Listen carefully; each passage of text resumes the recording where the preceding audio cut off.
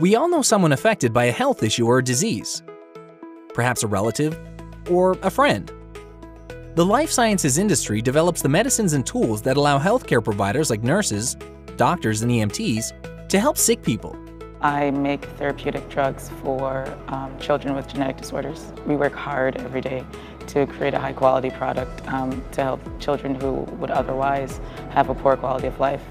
Life science products include both biology and chemistry based medicines used to treat illness and disease medical devices used to improve health conditions, such as insulin pumps and bionic limbs, and laboratory tools used to aid medical research, such as DNA sequencers. Yet another area of the industry seeks to harness biology-based solutions in the development of agriculture and alternative fuels and industrial materials.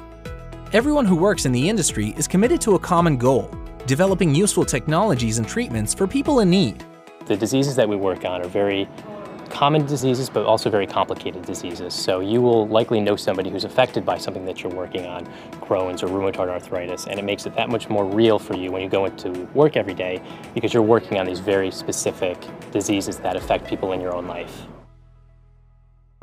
Let's look at how this industry works. In the life sciences, products start with an idea, sometimes at a local college or university. The idea can be researched further at a company, it gets developed into a potential product. The product goes through clinical trials to make sure it is safe and effective. Next, the product gets government approval.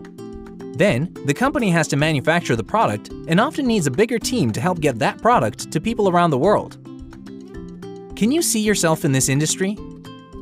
Careers generally fit into three broad categories research, manufacturing, and corporate operations. All three kinds of jobs are growing at a fast rate. Research is not about sitting alone at a microscope. Research in the life sciences is a collaborative process where teamwork and good communication skills are very important, in addition to technical expertise.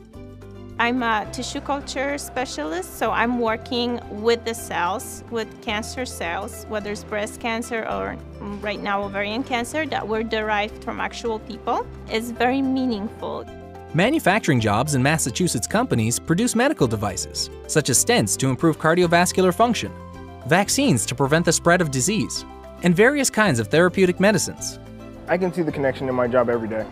Uh, every day we harvest material, and, and I know that the bag I'm holding will get bottled and go to our patients. Our patients come in sometimes and tell us how much we've, uh, we've done to help them and uh, extend their lives and, and give quality to their lives. So it's really rewarding um, hearing that. You make a difference every day. For every science based job in the industry, there's a non science job supporting it. As companies grow, they need talented people with expertise in finance, law, marketing and communications, and supporting the needs of patients, to name just a few specialties. Some people in these positions will have science degrees, but many others will not. I think it's really great to be in the life science industry because there's cutting edge opportunities, especially in the Massachusetts area. You may not know it, but Massachusetts is home to over 900 life sciences companies. It's considered the best place in the world for life sciences research and development. Boston is a very particular place. There's so much innovation here, especially in the biotech and pharma field. The work of the people in the life sciences in Massachusetts is having an impact on patients around the world. Massachusetts companies have developed medicines aimed at providing needed treatments for over 1.5 billion people worldwide, and over 1,500 other new medicines are being researched to help people suffering from 360 different kinds of diseases and ailments, from Alzheimer's disease to Zika virus, from ALS to cancer, this industry has grown rapidly in Massachusetts. In the past decade, jobs have increased by about 20%. At this rate, by the time a freshman in high school graduates from college, there will be 15,000 more jobs in the life sciences in Massachusetts waiting to be filled. The jobs also pay well, on average more than 50% higher than the state average salary.